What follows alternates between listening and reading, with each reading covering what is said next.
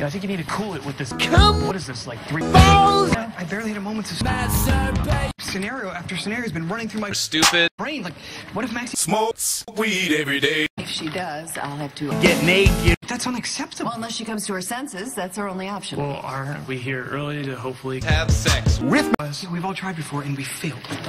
But that's it. I'm cutting. your dick. You're done. Maxie, Where's the? Bitch.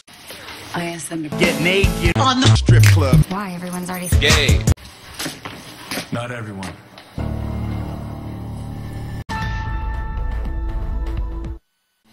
no doubt you're still mourning for Dr. Robin as we all are, but now is not the time for a heart. Shut up! Motherfucker! Wait, and abandon Maxie in this critical state? No. This is a family affair. If you want, Sex with your Women. you need to let him. Okay, with all due respect to your brother's grief and his desire for. cock.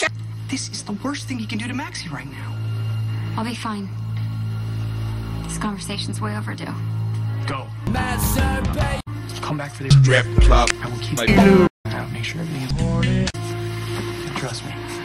I'm gonna f- make some love with my dick. I was wondering if you'd. smoke weed. You actually think I'd miss it? According to you, you killed me. Oh, dog. No, that's not true. It was. And it's one I wake up every morning wish wasn't true. But it is. But it's not your fault. Maxie, look at me. Get bitch! It's not your fault. How can you say that? How can you? Smoke. You don't think I want to fuck somebody? First, I because Robin died trying to fuck him.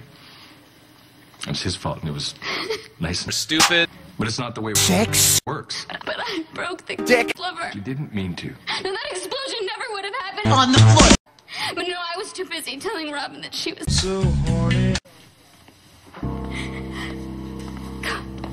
But that's the last thing that I said to her.